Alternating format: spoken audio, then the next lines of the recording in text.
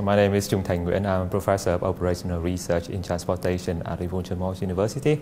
And I'm also a co-director of the uh, Liverpool Logistics Offshore and Marine Research Institute, again, within uh, John Moores University. I'm very honored to be here uh, to provide an inaugural professorial lecture. Uh, and my lecture today is about uh, nature-inspired optimization. So really looking to my past experience using different techniques inspired by nature to try to improve the uh, activities, sales and operations, the businesses and citizens in the Liverpool City regions and beyond.